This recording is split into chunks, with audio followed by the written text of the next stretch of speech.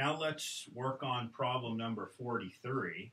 We'd like to evaluate the following limit. We've got the limit as x goes to b of the quantity x minus b to the 50th minus x plus b over x minus b. And the very first thing that I want to do here is I just want to rewrite this limit a little bit uh, and put it in a little bit better form. I see I've got a minus x plus b but I could factor out a minus 1 from both of those and write it a little cleaner. So let's do that real quick. We've got the limit as x goes to b of x minus b to the 50th.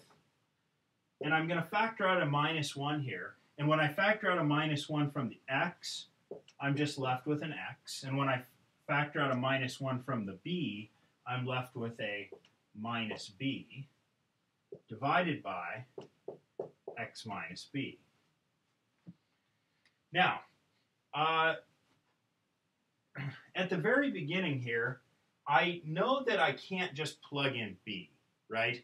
That would be the nicest thing that maybe could happen is I could just plug in b for x. But it's pretty clear right on the bottom that if I plug in b for x, I get b minus b, which is 0, division by 0. So I need to do something else. So that's what I'm working on here is what is it that I can do? Well, now on the top, I notice that x minus b to the 50th and minus x minus b, they both have a factor of x minus b. So I could factor out an x minus b, and that would be very helpful. Let's do it. So I'm going to say this is equal to the limit as x goes to b of, I'm going to factor an x minus b out of each of these guys. I'll factor out an x minus b from x minus b to the 50th, which will give me an x minus b times,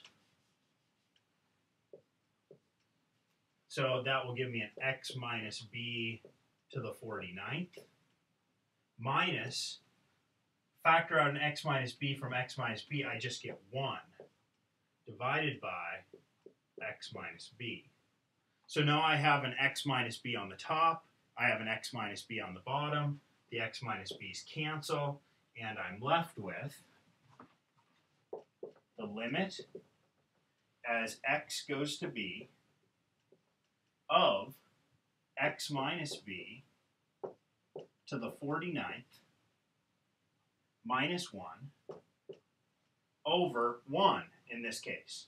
This is perfect because I got rid of the problem. The problem here was that I had an x minus b on the bottom causing division by 0 when I plugged in the b. That's not there anymore, so now I can plug in a b for x. If I plug in a b for x here, I get b minus b to the 49th. Well, b minus b is 0, so I just get 0 to the 49th minus 1, which of course is 0 minus 1, or minus 1. So the limit as x goes to b of x minus b to the 50th minus x plus b over x minus b is minus 1.